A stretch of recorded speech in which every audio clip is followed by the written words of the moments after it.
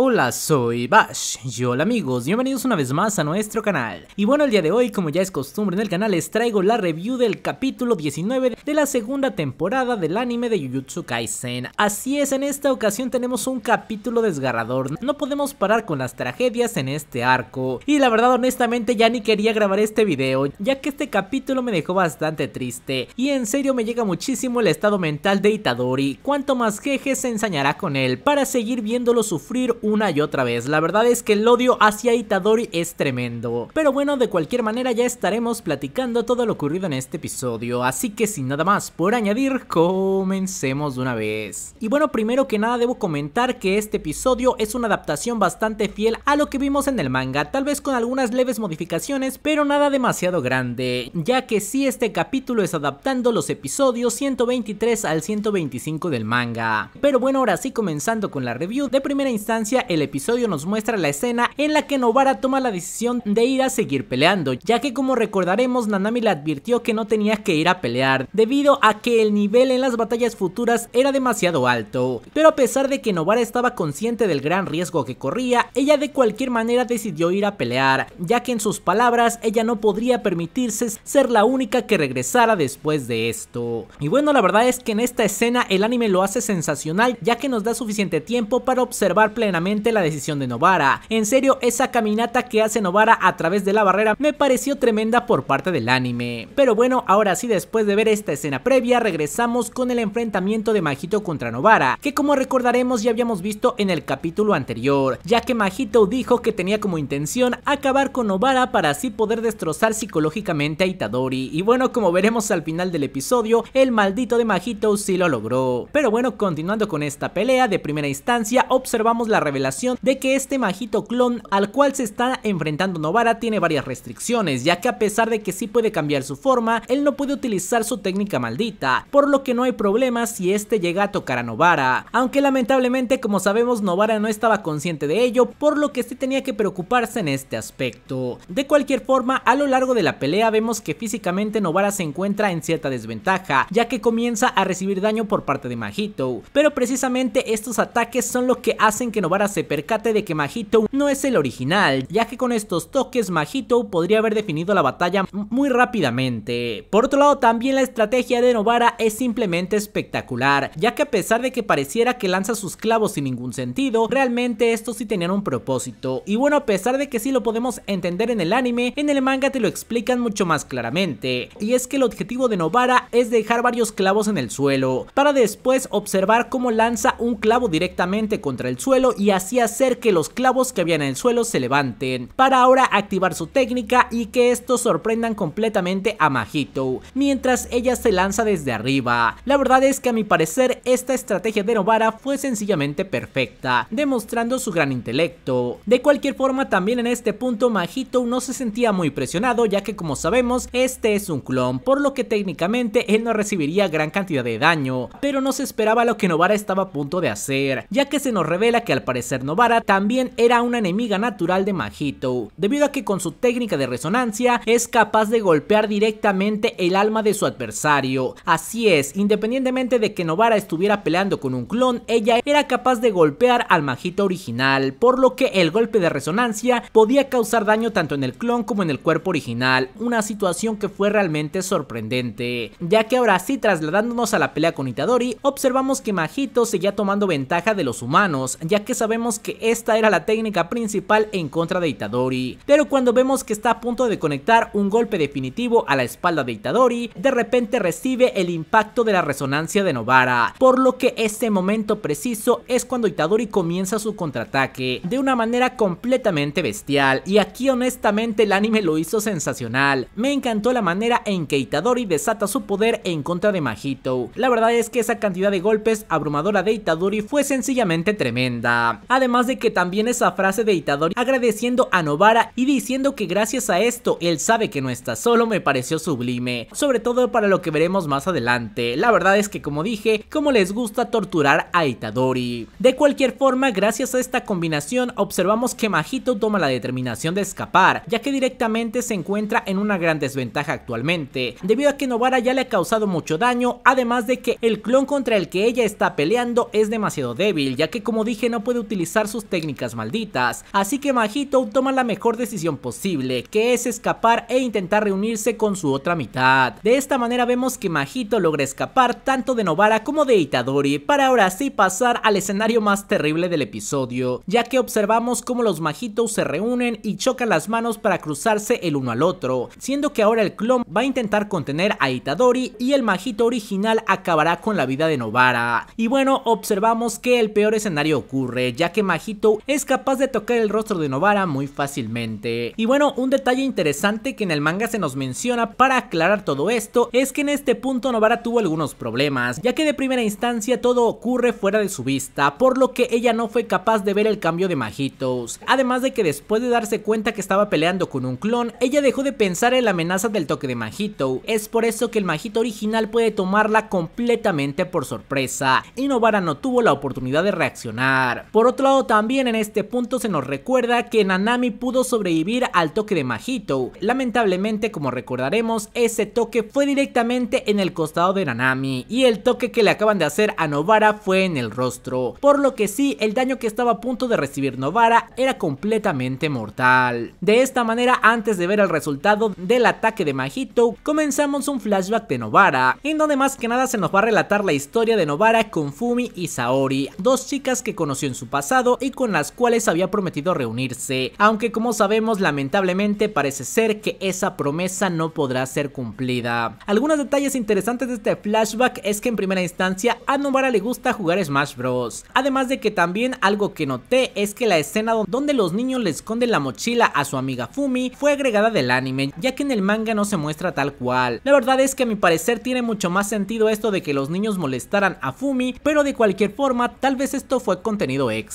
Y bueno, a final de cuentas, de manera general, este flashback nos muestra cómo a Novara no le agradaba mucho vivir en ese pueblo, pero gracias a las amigas que llegaron a ese lugar, ella pudo ir aprendiendo cosas y desarrollarse de manera diferente, aunque lamentablemente la conclusión no sería nada buena, ya que ahora sí, una vez que terminamos este flashback, regresamos a la realidad, donde observaremos el terrible resultado, ya que Novara al ver a Itadori puede decirle unas últimas palabras, pidiéndole que le diga a todos que no estuvo tan mal, para después observar cómo el golpe de Majito finalmente afecta a Novara, haciendo que su ojo explote literalmente y dejándola tirada en el suelo. De esta manera, una vez más, tenemos un final completamente choqueante, donde se nos muestra a Itadori destrozado. Como dije, la verdad es que esto es completamente terrible, no puede ser que le hagan esto a Itadori, él no paró de sufrir desde que comenzó todo esto, y parece ser que las tragedias no paran para nuestro muchacho. De cualquier forma, ahora sí terminamos el capítulo, y bueno, ¿qué les puedo decir? La verdad es que la adaptación de la muerte de Novara ha sido sencillamente espectacular, creo que ahora sí tanto el soundtrack como el manejo de las escenas me pareció completamente brutal. Y bueno, gracias a esto, ahora los que están viendo el anime comprenden cómo los que leemos el manga estamos completamente traumados con Jujutsu Kaisen. La verdad es que esta historia destruye nuestra estabilidad emocional. Pero bueno, claramente a partir de aquí lo que más estamos esperando es ver cómo a ese maldito de Majito. Y ahora sí, de esta forma terminamos el video. Espero que me dejen su opinión en los comentarios qué les pareció la muerte de Novara y qué tan tristes están. O tal vez tienen fe en que ella logre sobrevivir después de que le explotaron la cabeza. No lo sé, siempre hay que tener fe. De cualquier manera, ahora sí terminamos el video y antes de despedirme quiero agradecer a todos los miembros del canal que siempre nos están apoyando. Y muchas gracias a Orlando, Roberto Carlos, Emanuel Castro, de Loco Steve, Dr. Blastoise, Alcojo Gamers, Geraldo González, Soca Skinny, José Luis Carrillo, Oscar, Félix Dante, Jaciel GL, Caboyat 24, Luis Rodríguez, Alex Gamer, Alex Pilo, Ryan 505, Rodrigo García y Jonathan B. Y ahora sí, sin nada más por añadir, adiós.